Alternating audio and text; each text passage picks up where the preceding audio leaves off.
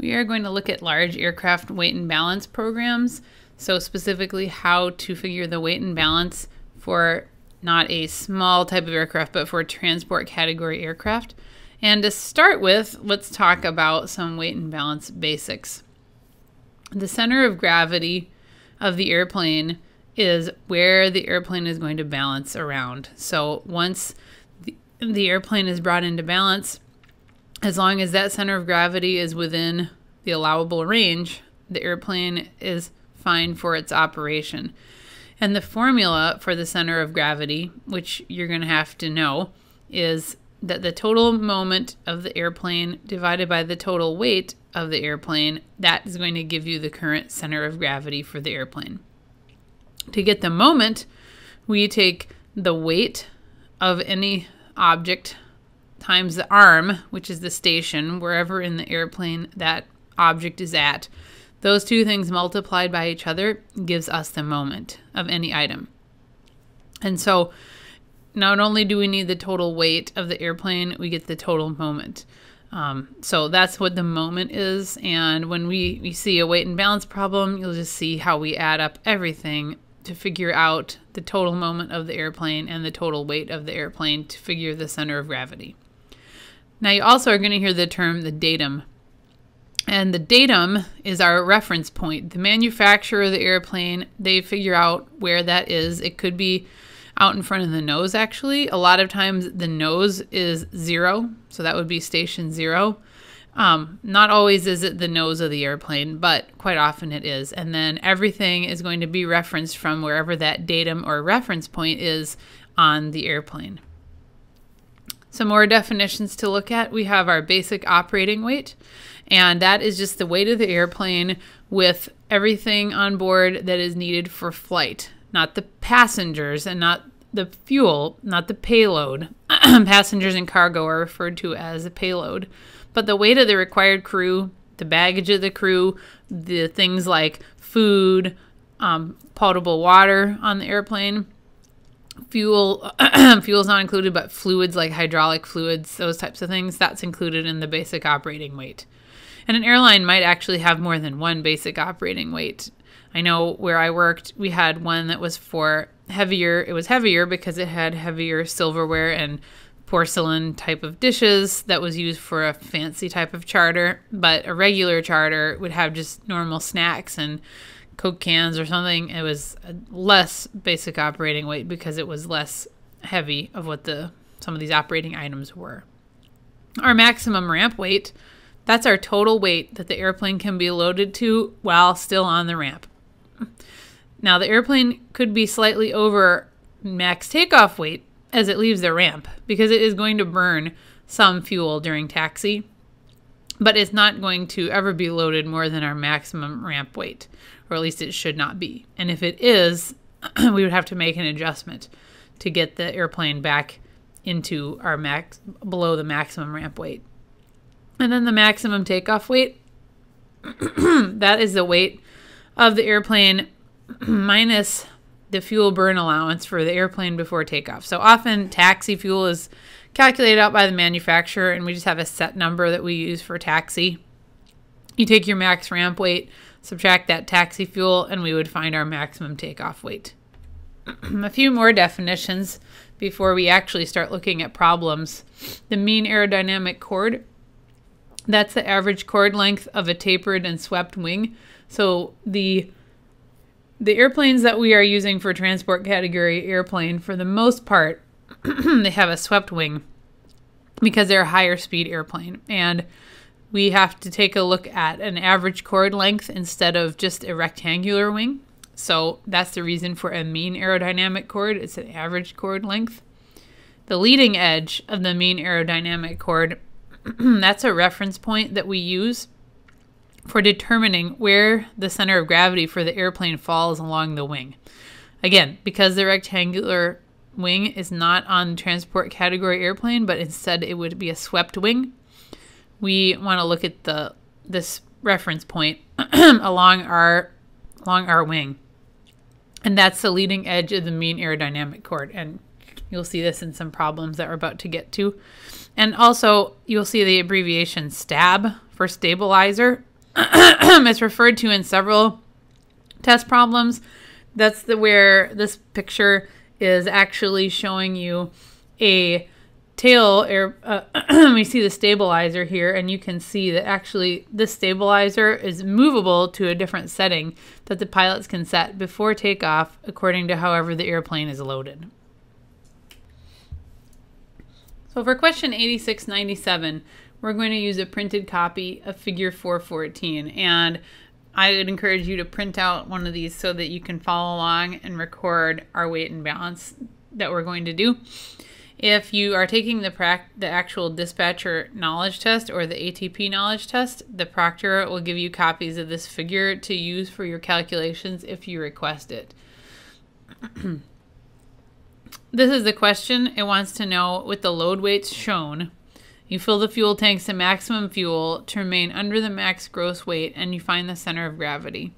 And load weights shown, what they mean is to use the right hand side of this figure for the pilot weight and the other weights.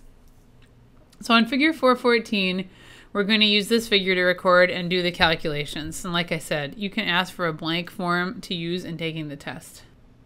So our problem specified that we have full fuel. So we look at this weight and moment table that gives us our fuel. And you can see that we have gallons given to us as well as the weight and then a moment. And from this, we are going to figure out that our problem specified full fuel. So we can see that 332 gallons is 2,224 pounds, and our moment is given to us 451.7. Now notice that it does say moment inch pound over 1,000. And that's a key thing, which you're going to see later. But for now, just the moment is actually 451.7 inch pounds divided by a 1,000. So we're going to go back to 414 at this point. If you've got your paper, write this in there and follow along with me as I do this problem.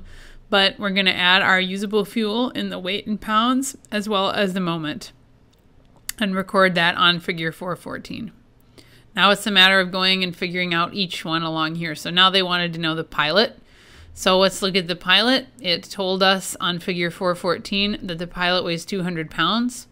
So we find that on our table and we see that the pilot in this location, he has a moment of 27.1 inch pounds over a thousand again. So we can record that on figure 414. Again, it's in inch pounds over a thousand. So we have our weight already given to us, and now our moment for the pilot is 27.1. Now we're going to add up the weights to calculate our total airplane weight. So we get my calculator, and we will add up 5,005 plus 2,222, 2,224 and 200 and we get a total airplane weight of 7429 and then for our moments we're going to add these up 929.4 plus 451.7 plus 27.1 and we get 1408.2 and this is in inch pounds over 1000 so important to notice here we actually take 1408.2 and we are going to multiply that by 1000 to actually get our total moment. So we got 1408.2. And we're going to get to how we what we do with that inch pounds over a 1000 in a moment. If we take a look at figure 405 in the FAA figure book, we see that for our problem today, we calculated our airplane's total weight at 7,429 pounds. And if we look at this table, we can see that our max ramp weight is 4,000 or is 8,785 pounds. max takeoff weight 8,750. So our total weight at 7429 is well under our max gross takeoff weight. Now we're going to calculate our center of gravity. So I said before we were going to have to do something with this 1408.2 inch pounds over a thousand. And what we're going to do is take 1408.2 and now we're going to multiply it by a thousand since we have inch pounds over a thousand. And then we are going to take this and divide by our airplane's total weight today of 7429. So remember, our moments divided by our weight gives us our center of gravity. And our center of gravity today I calculate to be 189.5.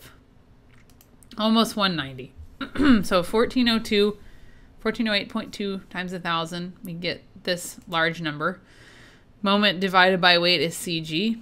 So we divide it, we get 189.55. And we're going to plot a CG and the weight on this chart over here, our center of gravity limits chart. And we're going to notice that it is slightly outside our center of gravity limits, actually. Uh, the FAA really doesn't have a great correct answer on this one, but it actually has one that mentions changing our cargo pod loading, which is probably all that we need to do to get it in our center of gravity limits. So you'll see here 189.55 coming straight up on this graph to our weight of the airplane, which is just under 7,500. It has given us a location that is just slightly outside of our limits for the airplane. All right, moving on to question 8699 is actually the exact same thing, except for we are just going to add up more items because we have now a front seat passenger, we have cargo in zone one, we have zone two cargo, and so on, and we have cargo in the pod. Now, I'm not going to go through every single part of this as as uh, slowly as we did before, but it's basically very similar. Now, one thing that's important to notice on this one, this time they've told us the pilot weighs 190 pounds, but this 190 pound weight is not listed on this table. Instead, we are given an arm of 135.5 for the place where the pilot is sitting. So if we looked back at the beginning slides where we talked about to get the moment, we do the weight times the arm or the station, that's going to give us our moment. So we have 190 pounds. We have an arm of 135.5 inches from this table. And if you multiply those, we get 25,745. If we divide that by 1,000, that gives us 25.8. That again converts to moment over 1,000. So now we know for a 190 pound pilot, the the airplane's moment for the moment for a 190 pound pilot is 25.8. And we would repeat the process for a front seat passenger weight of 200 pounds. Now I'm going to go back to figure 414 and enter that information. so 190 pounds for our pilot, which is in seat one, and we calculated our moment. And now we said that the front passenger in there is in is 200 pounds. And if we actually we could get the total moment from the previous chart or we could calculate it. So 200 pounds for that front seat passenger. We said the arm was 135.5 and I get 27,100. Divide it by 1,000 because we want moment over 1,000 again, and we get 27.1. And that's what we record here. Okay, so now moving on, we've got the front seat people. Let's move on to the fuel. Our problem specified 180 gallons. Simple because it's right here. Same process as before. We're just noting the weight and our moment in inch pounds. And we go back to figure 414 and record it. Here's our use, here's our fuel of 180 gallons, the weight and the moment. Now we're going to find all the cargo zones. And again, we have given weight. So zone 1 gives us 180 pounds. Notice again, it's not calculated on this chart out for us, so we're going to just do the math. So we have 180 pounds of cargo and we are given that zone 1 has an arm of 172 inches. So 180 pounds of cargo times 172.1 inches. we get a moment of 30,978. Dividing it by a 1,000 and we get basically 31.0 once we round. Okay, so we have a moment of 31 for our zone 1 cargo of 180 pounds. Repeat that for our additional zones and we're going to enter this into our figure 414. So I've actually put in all the different cargo weights at this point for the cabin cargo. And now I'm going to input all my different moments. If you'd like to pause this and go ahead and calculate zone 2, 3, 4, and 6, zone 5 doesn't have anything in it. But if you'd like to go ahead and pause the video and do that, you feel welcome to do that and then you can resume it. So we'll go back to the cargo pod next. Cargo pod, same procedure as we did in the cabin cargo. We again find all the cargo zone moments for the pod. So zone A is 100 pounds. Actually, this one's easy because it's shown right here on our table. But even if it wasn't, we just multiply it by our arm, in this case for zone A, 132.4 inches, and we get 132 we get 13,200 inch pounds. So dividing that by a thousand, the moment is 13.2. And we're going to add that onto figure 414. So here's all our cargo pod zones and weights for them. And then we're going to record here our moments. And again, if you want more practice calculating the moments for each one, pause it and work through it. There is a homework problem very similar to this where you're going to calculate it out anyway. All right, so now we've got everything we need. We have no passengers. Our cabin's filled with cargo. We're in a cargo configuration. Now we're going to do is add up all the weights and all the moments for our total weight. We get 8704.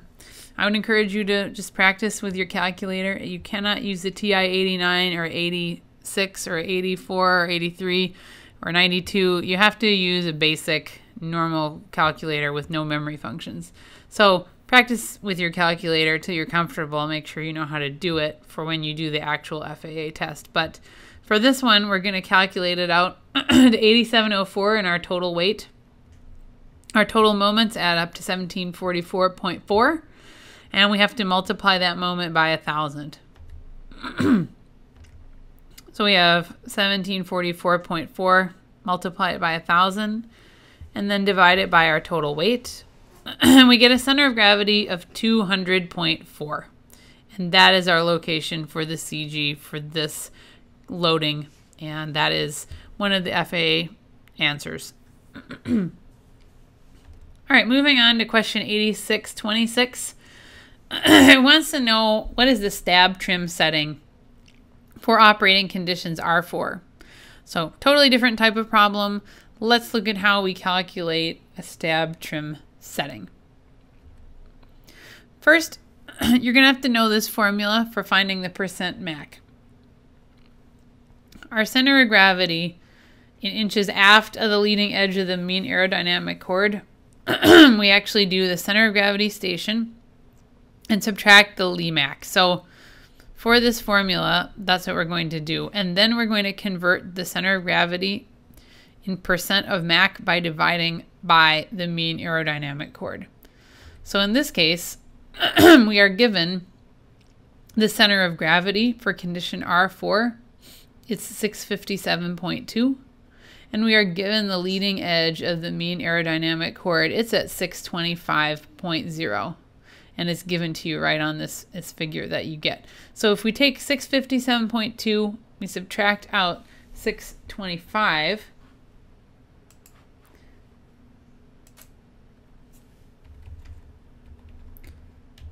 we're going to get 32.2. And so that is our center of gravity in inches aft of the leading edge of the mean aerodynamic chord. Next step is to actually figure out what percent of the mean aerodynamic chord that location is. so how we do that, we have 32.2, which we found before. We just did the center of gravity where the CG is, and we subtracted it from the leading edge of the mean aerodynamic chord. How far back on that chord is our center of gravity? And we get that it's 32.2. Also, this table shows us the length of this airplane's mean aerodynamic chord is 134. And what we want is a percent of mean aerodynamic chord because our stab trim setting chart is given in percent MAC. So in order to do that, we are just going to do, again, a, a bit of simple math. we take 32.2 from before, we divide it by 134. Again, it came from the bottom of figure 53 for our entire length of the mean aerodynamic chord, and we get 24%. so today, the center of gravity is at 24% of mean aerodynamic chord. And at that point, you can take a look at the stab trim setting chart. So 24% of mean aerodynamic chord gives us four and a half ANU, which actually means airplane nose up units. So that means that our setting is four and a half airplane nose up. and that's how you do a percent mac. There are some test example type problems that you can do on the homework that's uh, part of this section and so you'll be able to do a little practice with that. All right, question 8700 is a weight, weight shift question. We are going to just use the answer from a previous question, which was the one where we computed the center of gravity for the Cessna Caravan that was loaded with cargo. And we are going to use a weight shift formula, which is something that you will have to know if you're going to be able to do these weight shift problems. So on one side of our equal sign, we have weights. We have the weight that we're going to shift. It's on top of our total weight. On the other side of our equation is the change in center of gravity and the distance the weight is shifted. So if we want to just move something, we're going to want to know the change in the center of gravity. So that's the part that we're going to want to figure out here. This question asks us to move 300 pounds from zone 2 to zone 3. And I've copied down the stations, which you could get from the tables that I think it's figure 410 uh, or 411. This is just a formula that you will have to memorize, but let's look at how to actually use this formula. So we are again moving 300 pounds from zone 2 to zone 3. So here you can see that we do have our weight that we're going to shift. I'll highlight it. Here we have our weight that we're going to shift, 300 pounds. we have the total weight of the airplane. We actually had calculated that before when we did question 8699. And our distance that our weight is shifted, we've got that because we have where zone 2 is, and we're moving it to zone 3, so we've got that as well. So that is a good thing. We can we can continue on then to our next step, which is to do the math. So to figure out the distance weight is shifted, I'm just taking the difference between zone 2 and zone 3. and we get that it has moved 46.6 inches. Next, we can plug in our formula. So we've got 300 pounds over the total weight we had calculated as 8704 on one side, and then x is what we're solving for our change in CG, divided by how much it shifted, which is 46.6. And we're going to solve it for x. so for doing some cross multiplying here, basically we can take 46.6, move it over here, and multiply by 300, and then divide it by 8704 pounds. And if you solve it for x this way, you get 1.6 inches. So, okay, we know the CG has now moved 1.6 inches, but which way did it move? If we have cargo moving from zone 2 to zone 3, then our CG has moved back as well. So if the weight has moved farther back, our CG moved back. And we had 200.2 calculated earlier from question 8699. Add it to 1.6, so it moved back. Our new center of gravity is now 201.8. Okay, and continuing on to the floor load limit problems. there are lots of floor load limit problems, and this is the last type of problem we are going to look at in this video. So you are almost guaranteed to get at least one or two on the actual dispatcher or ATP knowledge test. That's a good thing because These questions don't take long to do. They're pretty simple. As long as you know how to do them, you can get them right, and it's easy points to get right on either of these tests. So, our three simple steps to making sure that we can get these correct if it's asking for our maximum allowable weight. Basically, we have a pallet.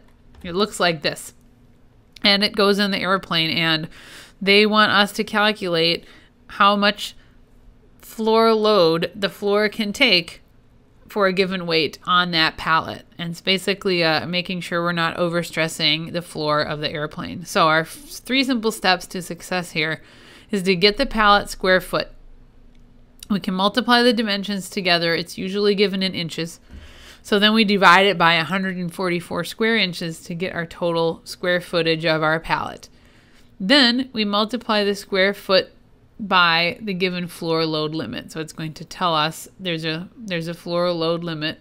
And then we're going to subtract the tie down things like the pallet weight and the tie down devices, which they're always going to give you. So let's look at some examples of this how we do this question. Our maximum allowable weight that can be carried on a pallet, which has our dimensions of 76 by 74. That's what they want to know. But they're going to give you our floor load limit, they're going to give us a pallet weight and they've given us our tie down devices. So let's use our three steps to get this question. We're going to get our pallet weight, our sorry, we're going to get our pallet square footage. Then we're going to multiply our square footage by the given floor load limit. And then we're going to subtract our tie down items. Okay? So let's go for it. Um, so our pallet dimensions 76 times 74. And for that, we are going to get 5624. So 76 times 74 is 5624, and that's square inches. Dividing this by 144 square inches per each foot, and we get a area of 39.1. Next, we're going to multiply 39.1, that's our area, by our floor load limit of 176 pounds per square feet. And we get a weight of 6873 pounds. That's how much that we can carry on a pallet without overstressing our floor with the floor load limit of 176 pounds per square feet. But that's not the answer. If you'd put that, you would actually be wrong. You have to subtract out our pallet weight and the tie down devices. So let's subtract out 77 pounds for our pallet weight and let's subtract 29 pounds for the tie down devices, and we got 6767.8. And that would be the right answer. So again, we figured out our pallet dimensions. We multiplied that out. We divided it by the square inches per foot to get a square footage. Next, we multiplied it by the maximum floor load limit to get a total floor loading amount for that pallet's area. And then we took out our tie down devices 77 pounds for our pallet, 29 pounds for ropes or straps or whatever is holding it in. And we get 67, 67.8. That's how much payload we can allowable to carry on this pallet of this size with this airplane's floor load limit. All right, now if you get one of these questions that asks for the minimum floor load limit to carry a pallet, it's just very similar, but instead they're going to actually give you a total weight for a pallet. so in this example, let's say on our pallet they said, all right, you can carry 67, 67. Okay, they're going to give us tie down devices. So for that problem, let's say our tie down devices were 77 pounds plus 29 pounds. We add that in. Then we actually divide this total weight by the area. So if it was on, like the other one was a 39.1 square foot area, if I divide that out, I get 176, and that 176 is actually our minimum floor load limit to carry the pallet. So I just worked that one in reverse to show you that it works either way, and there are some problems that you can do in the homework to do some more practice because these are easy points if you know how to do these. Not complicated and pretty quick to get them figured out.